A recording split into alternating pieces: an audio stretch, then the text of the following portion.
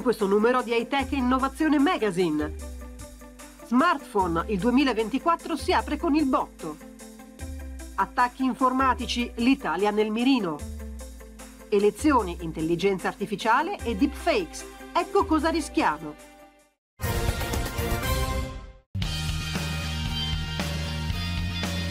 L'anno, almeno per il segmento degli smartphone, si è aperto con il botto, con la notizia che Apple per la prima volta nella storia ha superato Samsung ed è diventata il più grande produttore al mondo di smartphone.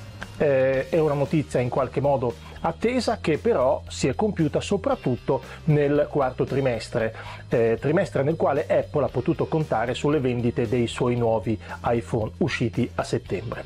Ora ci dobbiamo aspettare il contrattacco di Samsung che nel prossimo trimestre potrebbe fare il controsorpasso e, e visto la presentazione dei suoi nuovi eh, smartphone flagship Galaxy S24. Nel 2023 Apple ha venduto qualcosa come 234 milioni di pezzi, mentre Samsung si sarebbe fermata sempre per l'istituto eh, di analisi Canalis a 226 milioni di pezzi. Quindi c'è chi sale, c'è chi scende, ma in realtà eh, la verità è che le due prime posizioni del mercato più o meno fanno una quota che si avvicina molto all'80% di tutti gli smartphone venduti nel mondo.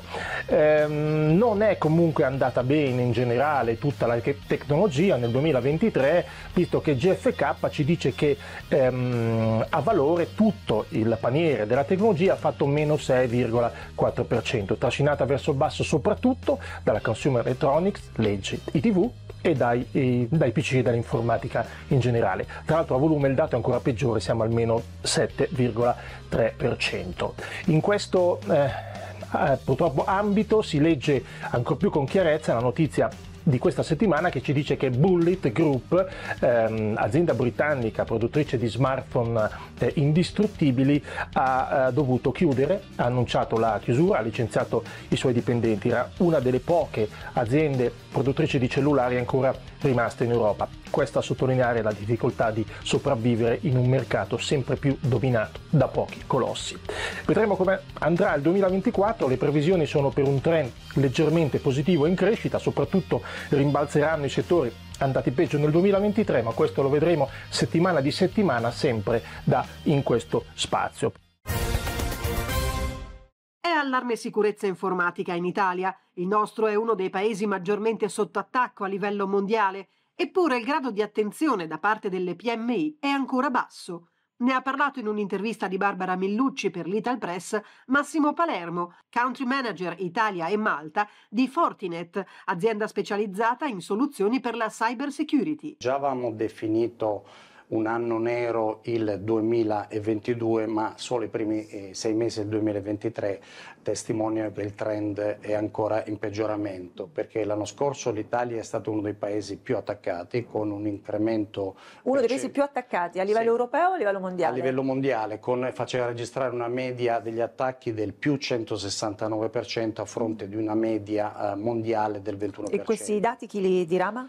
Sono sempre i dati del Clusit mm. e badiamo bene che si tratta di, eh, di, attacchi andata a segno e riportati e rilevati, quindi c'è sicuramente una percentuale che ci sfugge. I primi sei mesi, come diceva lei, testimoniano che in Italia gli attacchi crescono quattro volte in più della media mondiale, a fronte di una media mondiale del, dell'11%, siamo vicini al 40% eh, in Italia. Tendenzialmente aumenta, come aumenta. mai? Ma sicuramente ci sono tante, tante motivazioni, c'è sicuramente un tessuto eh, economico produttivo particolare con una predominanza delle piccole e medie imprese e una predominanza anche della, della pubblica amministrazione, ci sono fattori, aspetti culturali e di budget legati a questi, legati a questi aspetti. In particolar modo io mi soffermerei perché ci sono anche un paio di report interessanti contenuti all'interno del Clusit, ma eh, pochi giorni fa è stato rilasciato un, un, report fatto su un campione di 800 imprese fatto dal Cerved, da Clio mhm. Security uh -huh. e Grenke che evidenziava come mh, piccole e medie imprese, quindi parliamo di qualcosa che rappresenta il 30% dell'occupazione in Italia e il 40% eh, del PIL, nel 70% dei casi non viene fatta formazione sulla cyber security. L'intelligenza artificiale sta rendendo più facile la vita dei creatori di disinformazione. Se generare fakes e immetterle in rete negli ultimi anni era stato già relativamente semplice, con l'intelligenza artificiale lo è diventato notevolmente di più.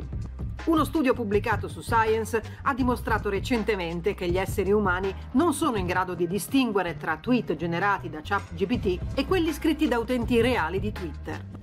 Un fenomeno ancora più preoccupante se in gioco ci sono le libertà, le conquiste democratiche, il voto libero da condizionamenti. Nel 2024 in tutto il mondo 2 miliardi di persone esprimeranno la loro preferenza. Si voterà in 76 paesi, saranno 50 le consultazioni, a marzo sarà la volta del Cremlino. A giugno saranno chiamati alle urne i cittadini di 27 paesi europei per rinnovare il Parlamento. A novembre voteranno gli americani per dare un nuovo inquilino alla Casa Bianca.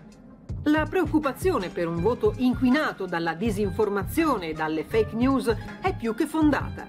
Lo è ancora di più adesso che l'intelligenza artificiale consente di generare testi, immagini, video indistinguibili dalla realtà.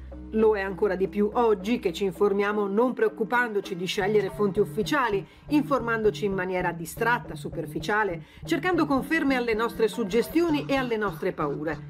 Un assaggio di quanto può accadere è arrivato dagli States quando un robocall, una chiamata preregistrata con la voce dell'attuale presidente Joe Biden, ha invitato gli elettori del New Hampshire e del New England a non andare a votare per le primarie. Ovviamente quel Biden era un falso, quanti ci sono cascati o in quanti si è innescato il dubbio o il disorientamento.